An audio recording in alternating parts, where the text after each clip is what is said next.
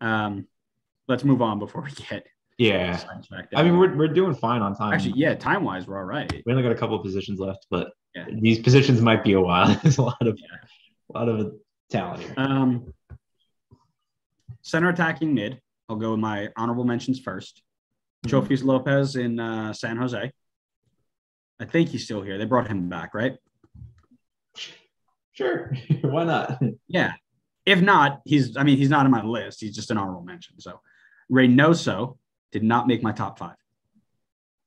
Rusnak did not make my top five because I'm not sure where he fits in with Seattle yet. And Pereyra just missed out from Orlando.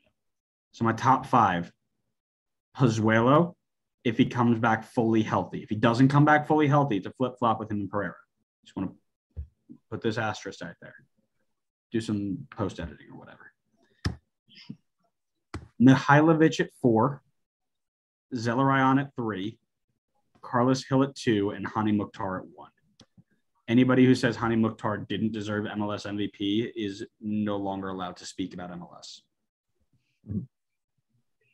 Um, yeah, for the most part, my list is pretty much the same.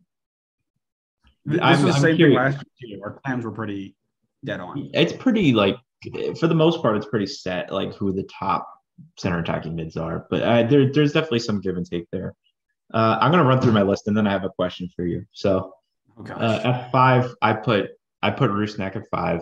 I put Pozuelo at four, Zelarayan at three, Gila at two, and then Mukhtar at one. oh, you did no. Jordy so dirty. Well, here's my here's my uh, here's my question for you. Calm calm down. I will fight you. Um, I want you to make the case for me to swap out Rusnak for Jordy. Okay. A lot of my a lot of my reasoning for putting Rusnak there at five was based off the season that he currently came off of, where he was super super strong. Okay. In a Montreal team that was really not great, four goals, 14 assists. Albert Rusnak in a RSL side that was Really not uh, great. 11 and 7. Okay. But here's the here's the other point. Where does he fit in in Seattle? Because you've got Nico Lodeiro already.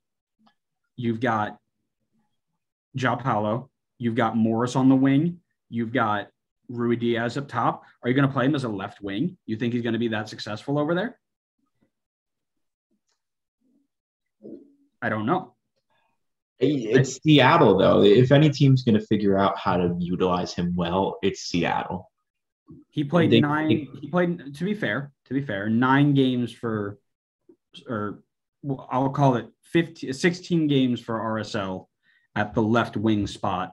Had five goals, three assists. So he would be he'd be successful there. But would he be an attacking mid at that point, or would be would he be a winger? Well, like you said, I, I don't really have an option right now. I can't. I don't know where he's going to end up playing for Seattle. So at the moment, I Right. kind of have to go with where he currently is. Nope, for sure. No, I just I think if you're gonna drop anybody for Rusnak or for Mihailovic, it's Pozuelo because you don't know if he's coming back 100. percent That's I I get that. That's fair. But Pozuelo, when he was at his best, is in that mix with the top three. I, I hear you. I hear And you. but- and now even more so, he's going to have a lot more eyes shifted away from him because everybody's going to be looking at Insigne. So Or is somebody going to say, okay, stop, don't worry about Insigne. Don't let Insigne get the ball by stopping Pozuelo first. I guess it depends on how they p- play Pozuelo. Are they going to play him more like a striker or more like a midfielder? Right. And if Giovinco, there's a whole bunch of things that we don't know about, right? Yeah, it's, it, there's a lot of ifs. Yeah. I, I get I I I can definitely understand in that case why you would put Jordy because that's a bit more set in stone. Like you know, Jordy is the playmaker for that team in the midfield. You know where he's going to play. So I, I can understand that. I, I'm going to stick with my my my top five, but I'm going to stick with mine. um, I think in terms of honorable mentions, let's just see if I. The only other person I added on there was Ryan Gauld. Oh, I like Ryan Gauld. That's a good one. All right, so I like I like Gauld. I like the Gauld pick. Uh, I think Vancouver is going to be slept on this year because Ryan Gauld is not in that list. But uh, I'm a fan of that one. I like that. Yeah. Moving. So.